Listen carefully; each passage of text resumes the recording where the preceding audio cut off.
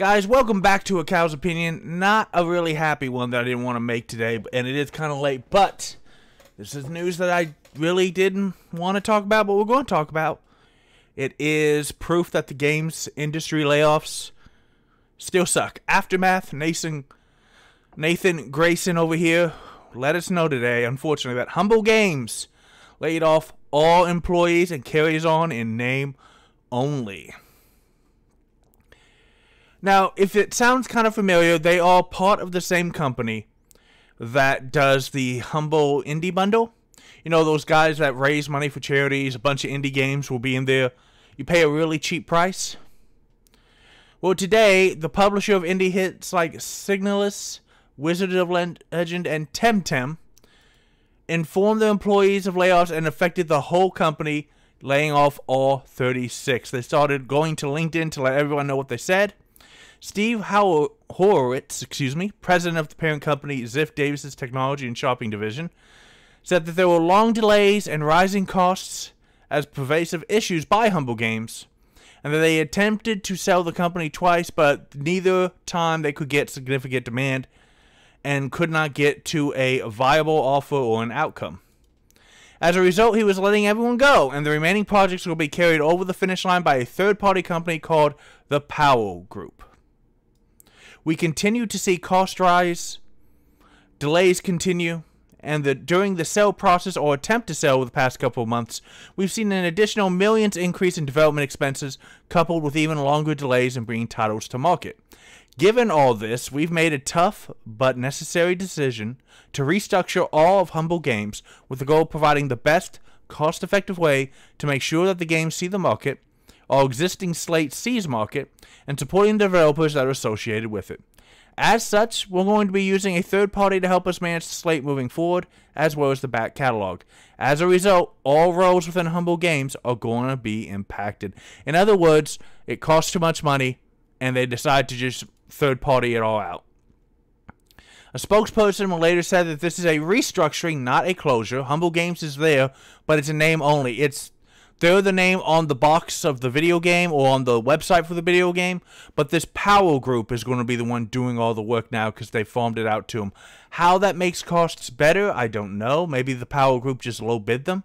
I'm not familiar with the Powell Group, so you can comment down below if you know who the heck these guys are.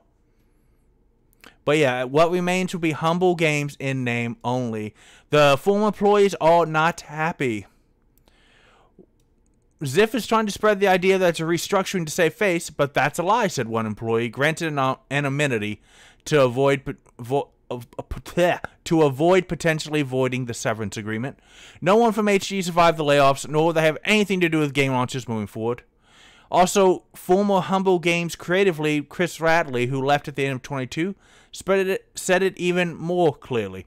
Operations have been handed off to a third party consultancy. No staff are left. Do not believe this tailored message written by the parent company of Humble Games, Ziff Davis, who are trying to mitigate pushback. This was once again a failure of leadership across the board, and once again, hardworking, talented staff are paying the cost for their poor decisions. Every ex employee is being gaslit by this narrative, and it's so disrespectful. Now, again, Humble Games was the publisher spun off from the Humble Bundle, which is the charity centric storefront that was acquired by IGN in 2017 and uh, is not impacted. IGN has also recently purchased the Gamer Network, which is Eurogamer, Rock Paper Shotgun, GamesIndustry.biz, and VG247 for an undisclosed sum, which is leading to immediate layoffs and the gutting of popular beloved board game site Dicebreaker, which really sucks if you like board games. Now, a bunch of Humble Game employees are saying this the business models were just incompatible with each other. Ziff is very good at owning a lot of media and increasing revenue in advertising, and Humble Games Publishing was just not something that agreed with their business model. They needed money, they needed it now. They wanted to see an immediate increase in revenue after investing cash into a business, and unfortunately, That's not how games work. We also have another former employee saying Ziff Davis does not understand the world of game development and the principle that when you invest money, a game is not released in six months, but takes time to be done. And we're starting to not like this when they understood it's working, so with their stock going down, they simply decided they did not want to be in that business anymore. Their decision was not rational and will really hurt indie development in the long run, on top of their employees and the project in development.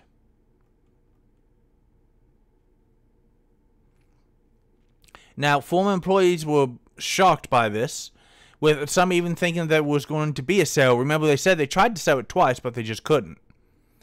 But there were signs of trouble because Humble Games had no projects for 2026 or 27, 27, which is a pretty big gap when you need to plan out your development releases years in advance. I know that to you and me, that's like two, three years. I don't know what I'm going to be doing in two or three years. You probably don't. But in the world of uh, publishing video games, you want to have a couple of games coming out, you know, on a regular basis. We were very charity oriented. Humble Bundle itself raised a quarter of a billion dollars for charity, I know a portion of that was due to Humble Games, said an former employee. We looked for people who didn't just want to be in games, who didn't just want to be in some random indie games publisher, but people that very much exemplified these values. Everyone cared for each other, taking on work of their colleagues to help when needed, always taking into consideration what could hurt or impact their colleagues and trying to ease it before it even happened. And this was reflected back to the way we worked with the indie devs, providing honest feedback without imposing creative changes. There are certain people now that force creative changes and make games worse because they're idiots respecting and trusting in their game visions, not going by the letter of the contract when it came to milestones, as everyone knows how game develop, devs work and how sometimes things take a bit longer before coming good. This was truly a unique publisher with an amazing cast of people, and I am not sure that a similar publishing structure exists. So yeah, we have only five comments. Well, it's I have I loaded this in a long time ago. I'm not canceling my bid for president of the United States. I'm just taking a little break and it exhumes tragic loss. So, yeah, basically, here's the thing, guys. This media company thought, you know what's really hot? Video games. And bought this and then was surprised when they couldn't pump out video.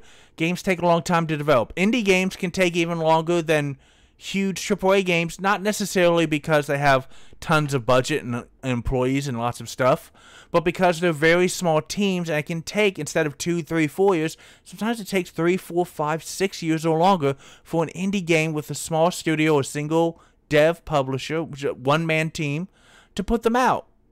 And it's unfortunate that this is what happened. It seems to me that the Ziff Davis group thought that they could buy them and instantly get cash flow but didn't understand that you have to put in a lot of money and that it comes out over time. Years later, it's an investment, it's not a money printer. And they were looking for a money printer, and now we have apparently lost a pretty cool Humble Games developer. Apparently, this group called the Powell Group is going to be finishing all the remaining projects that have been signed up. It's only going to be a couple years because, as the article stated, there was nobody in 2026 or 2027 that had signed up with Humble Games yet. So this year and next year, really. And then I wouldn't be surprised if Humble Games just closed its doors. I don't know how you're saving money uh, farming it out to a third party consultancy group. I'm not huge into, you know, business contracts. I don't know. But this sucks. And this is just more of our continuing coverage on how game layoffs and greedy publishers the the Displacer Group the that you know was counting on two billion dollar investment from Saudi Arabia. not Displacer, excuse me, Embracer. Embracer, E M B R A C E R. We've talked about how that that was the biggest blow up of them all. There's been lots of layoffs, but that was the biggest one of all because they were like, well, we just need we're going to acquire all these publishers and all these developers and all these IPs. And then the final piece of the puzzle was a $2 billion investment from Saudi Arabia to fund all these IPs and developers and publishers that they acquired. But the problem is they saved getting the money for last, and then that deal fell through. And then Embracer had all of these studios, and not the money to run them and to fund the projects and to make the game. Probably a $2 billion investment into those IPs would have yielded multiple times more as long as you let them make great games. I was not worried about the quality of the talent in the studios. What crushed it was they didn't have the money to pay for these studios for the next one to four years as they're making the games. Game development is very upfront heavy. You pay all the money before you get to sell a single copy, and then you sell the copies, and it can take months or years to break even depending on how the game sells and its business model and its, you know, money making model. And that sucks. That's kind of the reason why when we saw the Saints Row remake and then it bombed because unlike humble games, you know, there was a bunch of people who said, "Hey, you have to put this in. You need to do this. This is really popular on Twitter. Do this."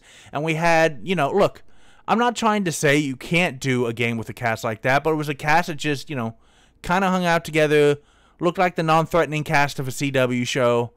Uh, acted like they were in it for you. Know, we'll in it because of college debt, capitalism's bad, and then you had missions where you were just killing 50 people to get a Happy Meal toy, and the story didn't make any sense. But worst of all, all of that can be forgiven if the game is fun. The game was not fun. It was massively buggy, and then they shut down the studio.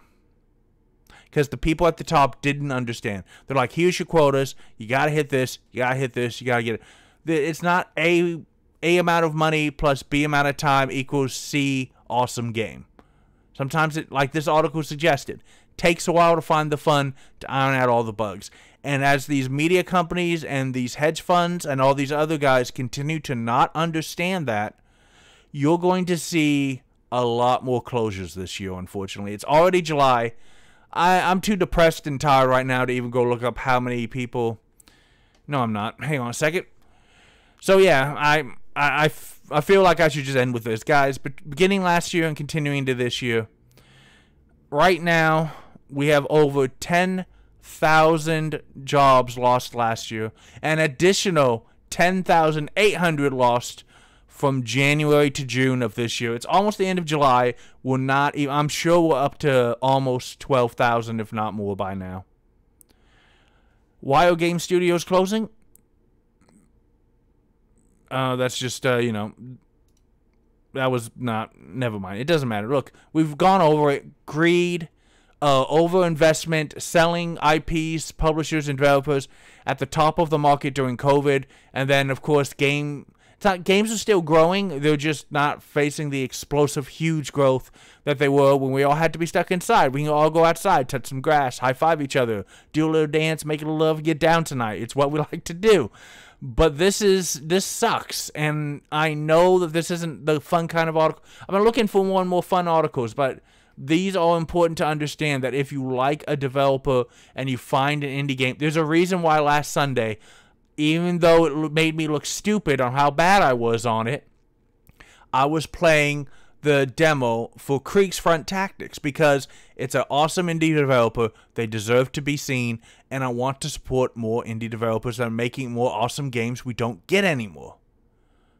So that's what I suggest you, you guys do you can tweet, retweet, eat make videos, do whatever you want. But if you know of a smaller developer or publisher and you love the stuff that they make, feel free to support them because if we don't, this is what's going to happen.